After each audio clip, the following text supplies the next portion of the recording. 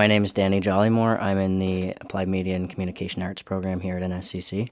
A lot of people don't understand exactly, not even just being the transgender, it's, uh, they don't understand how you don't fit into a binary. They're like, well, you have to be this, and there's an oft, oftentimes you hear not trans enough, um, which is very frustrating. But people just don't really understand unless they go through it, and there's no way to explain it because it's just a feeling you have. You can't explain a feeling. But yeah, I think people assume like you know being gay or whatnot, it's a choice that you make, and it's certainly not. At least not in my case, um, and I don't think it is in anyone else's. And I think that the whole question on when did you choose to be straight, it makes people wonder. Well, yeah, actually, you know what? I didn't. And I think that sort of changes their mindset in realizing that it's not a choice for trans people or gay or lesbian people either. And I think people are slowly getting there, but I think it should be brought up a lot more. At first, again, people don't understand it, so they instantly get the, you know, face of disgust, I guess, because it's uh, not something they understand. And I know I have been called many things, which I'm not going to say, but they're not good. For me personally, I've been told that I need to, you know, be more manly, that I'm not these words haven't been said, but I'm not trans enough. You know, I'm not a tall person. I'm very small. That's hard enough when you're, you know, even if I was born a cis guy, it'd be hard being being a small person. But people tell me all the time, like you're like, yeah, well, you're not really a man because one, you don't have certain parts, and two, you're not a big fella, so you're really not anything. And it's like, yeah, well, I've had really uncomfortable personal questions uh, from random people on the street at the bar because I, I perform at uh, at the bar doing drag and stuff. So I've had people come up to me and like, "Well, what do you have your in your pants?" And it's like that isn't the question you ask anybody, let alone a trans person, because that's a lot more dysphoric, I think, than a cis man or cis woman. So it's it's a hard thing to answer and even to think about sometimes. I personally just identify as a person, not a gender.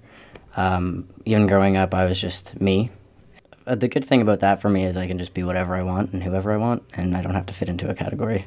The whole thing about Facebook taking off drag queens and kings' uh, profiles is a little bit much, I think, because, you know, who are they to say what is and is not real? I mean, for some people, being a drag queen or king is more of what they identify as than, you know, what people appear to be.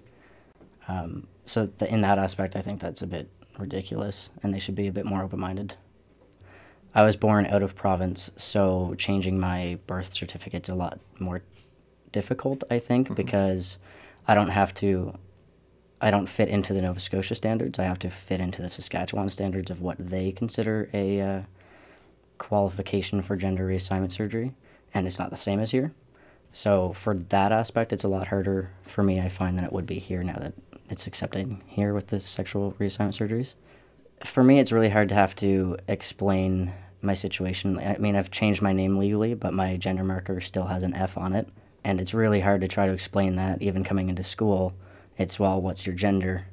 And it's like, well, it's not really this, but it's not that, because legally it's one thing, but I identify as another is really difficult. So I'd like them to, you know, sort of follow Ontario's footsteps and give a third option or a, or no option and you know just be more open to you know not fitting into one or the other. I definitely think finding a good support system first because there's a lot of I wouldn't say negativity, but there is a lot of downfalls and obstacles that have to overcome.